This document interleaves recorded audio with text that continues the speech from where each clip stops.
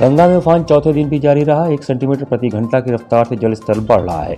गुरुवार की सुबह आठ बजे तक गंगा का जलस्तर छाछठ दशमलव चार छः मीटर पर पहुँच गया, जो खतरे के बिंदु से लगभग चार मीटर नीचे है। गंगा में पानी बढ़ने से तटवर्ती इलाके के लोग सशंकित हैं। घाटों का आपसी संपर्क टूट गया है, अस्सी घाट पर गंगा आरती का स्थल बदलना पड़ा। गंगा का जलस्तर पिछले चार दिनों से बढ़ रहा है, पर्वतीय इलाकों में बारिश की वजह से पानी बढ़ रहा है। शुरुआत में यह अंदेशा जताया जा रहा था कि जलस्तर जल्द स्थिर हो जाएगा अथवा पानी घटने लगेगा, लेकिन चार दिनों से जलस्तर लगातार बढ़ाव पर है।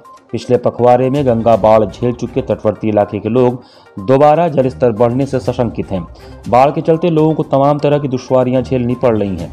मौसम विभाग ने पश्चिम बंगाल की खाड़ी में उड़ीसा के तट पर कम दबाव का क्षेत्र बनने और मानसून द्रोणी के उत्तर प्रदेश के दक्षिणी हिस्से से गुजरने की वजह से अगले दो तीन दिनों तक बारिश का दौर जारी रहने का अलर्ट जारी किया है। तेज हवा व गरज चमक के साथ हल्की से मध्यम बारिश हो सकती है, लेकिन बाढ़ अथवा भारी बारिश के अब आसार नहीं है।